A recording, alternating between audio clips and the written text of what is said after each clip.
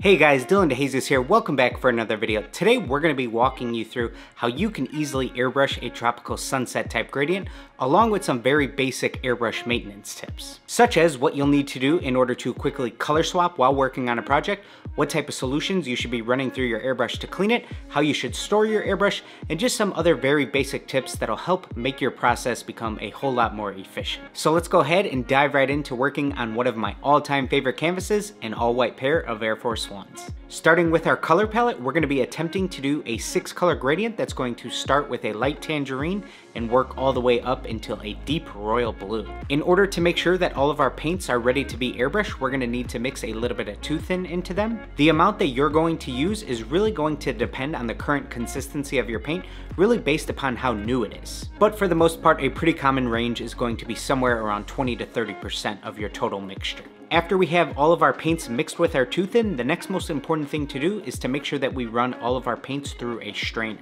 This is going to catch any of the larger chunks of paint that might be in your mixture that would definitely clog your airbrush down the road. Moving on to the painting, I'm going to be working from the bottom up, so we're going to start with our light tangerine color. I also always like to add in a couple drops of white into some of my initial base coats for any given color. This is just going to give a better base with more solid coverage for our color to eventually lie on. Now that I'm done with that initial base coat and we need to give it a little bit of dry time before we can move on to our next coat, this is where I'm going to clean out my airbrush. The first thing that I like to do is pour out any additional paint left behind in the airbrush cup back into your paint storage cups. After that, we're gonna take a shop towel or a rag and clean out any of the additional paint left behind in the cup. Next, we're gonna run some airbrush cleaner directly through our gun to spray out any of that color that we have left behind. This is also when having a tabletop airbrush cleaning pot really comes in handy because you can spray any of this airbrush cleaner mix directly into here. Now you're just gonna go ahead and repeat those same steps of keeping the cleaner flowing through your airbrush until you no longer see any color residue left behind in your airbrush cup. Another trick that you can do is keep a cup of water nearby along with a paintbrush that you have set aside,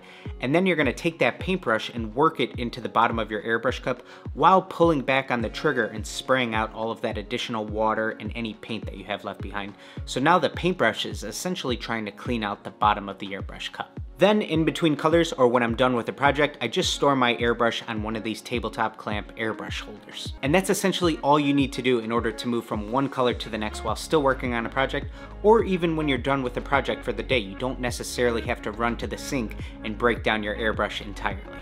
But now back to the painting, I'm going to continue working my way up this gradient, moving on from one color to the next, typically doing around three coats or so for each main color of this gradient. Once we have the main base for our gradient laid down, the next thing that I like to do anytime I'm working with a pair of shoes that has a lot of different panels, such as an Air Force One or Jordan 1, is I like to go in with a tiny detail brush and just add in a little bit of paint in any areas where the two panels meet that you weren't able to get even coverage with your airbrush.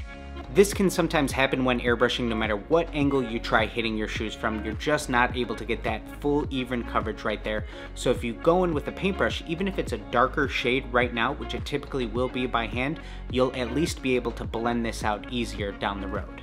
And this is a very common mistake that you'll see when people are trying to get full coverage with a gradient across an entire pair of shoes. Now we're ready to go back in and soften up some of our blends and make them even more seamless. And the way that I like to go about doing this is what I like to call the middle bar technique. So what this requires you to do is take the two colors that you're trying to blend together, pour them directly into your airbrush cup at a one-to-one -one ratio, and then we're gonna use something called the backflow technique to mix them together. So for this, you're gonna cover up the nozzle tip of your airbrush while still pulling down on the trigger, not allowing any air to escape from the front, and this is gonna force everything in your airbrush cup to mix together.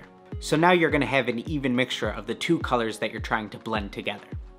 Now with this mixture, you're trying to airbrush this across any areas where the two colors meet. We're actually working with a relatively simple gradient in terms of where all the colors are next to each other on the color wheel, but if our colors weren't as close to each other on the color wheel, or if we were working with a little bit more difficult colors to blend, another thing that you could do is take both of the original colors that you used for your middle bar technique and reapply those trying to blend them into that middle bar and this is just going to give you that really seamless look. Another little pro tip for the middle bar technique, if you were working with lighter and darker colors such as black and yellow, you wouldn't really want to use use a one-to-one -one ratio of black and yellow, you would use something a lot closer to 80% yellow, 20% black for your middle bar mixture. Once we're happy with all of those blends, we're ready to move on to the sock liner portion of our Air Forces. We're gonna go ahead and swap out our 2-Thin for 2-Soft when working on the sock liner to try to keep that as nice and factory soft as possible. And here's a look at our initial six color gradient fully laid out. Now we're gonna go ahead, finish this project off by using some of our tropical floral stencils along with our drip swoosh stencil pack.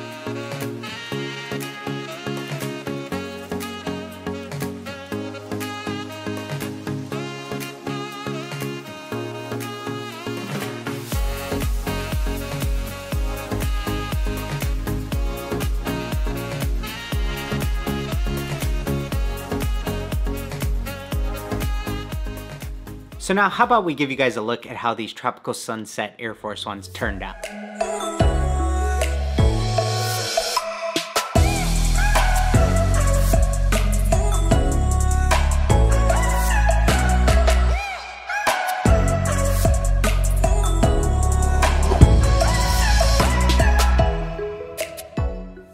So there you have it guys, hopefully you enjoyed today's video. Airbrushing gradients is definitely something we've talked about in the past on this channel, but we really wanted to expand upon that, talk about some of the maintenance tips and how you can just make your process a whole lot more streamlined and keep you moving really efficiently. So thank you guys so much for watching. Also, don't forget all entries for the DCF Floral Contest are going to be due Friday, July 31st. Really looking forward to seeing these. Some of the ones that we've already seen are absolutely crazy. You guys are killing it. This is going to be a fun one.